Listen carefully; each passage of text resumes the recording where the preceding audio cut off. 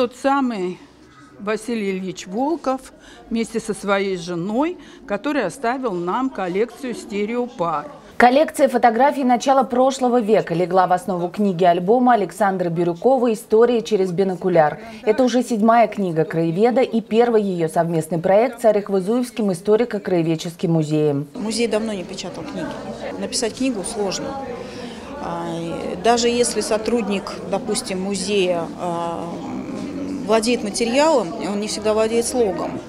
Вот, поэтому, когда Александра Александровна предложила вот такой проект, это было, была просто сказка на самом деле. Стереоскопические изображения были очень популярны в России в начале 20 века, но рассмотреть их можно было только с помощью специального приспособления. На презентации книги гостям выставочного зала показали, как это работало. Ну, очки, естественно, надо снять.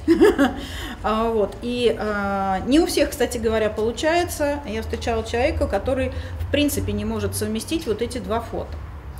А, более того, я вам могу сказать, что вот этот аппарат, он нужен не обязательно. Если человек умеет совмещать две фотографии глазами, он может стереоэффект получить без аппарата. А теперь читатели книги смогут без труда разглядеть во всех деталях жизнь Орехвы-Зуева, ближайших городов и деревень более чем столетней давности. Каждой фотографии есть описание сюжета, который на фотографии.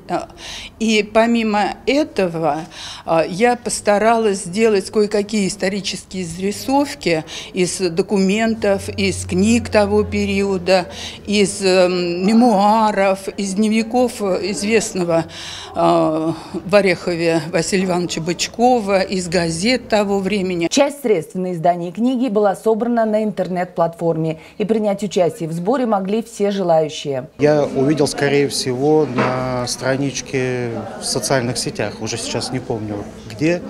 Э, естественно, меня это заинтересовало, поскольку история этого города мне очень интересна.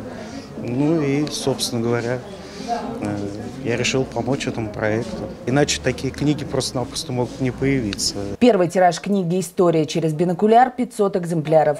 Приобрести ее можно в выставочном зале Орехово-Зуева и историко-краеведческом музее. Экземпляры будут переданы и в библиотеке округа.